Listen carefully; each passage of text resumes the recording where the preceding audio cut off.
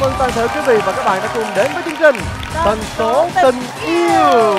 Những tần số đã bị ẩn giấu quá lâu.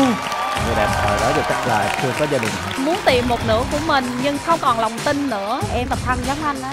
Tất cả đã sẵn sàng để gắn kết. Em ba đứa con lận á anh chấp nhận nổi không? Một giống mà ba đồng lời.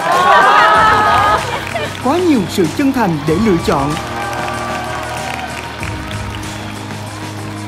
Anh gửi cho một bánh gì Đón xem tập 19 Tần số tình yêu, phát sóng lúc 21 giờ 35 thứ sáu, ngày 9 tháng 7 trên kênh HTV7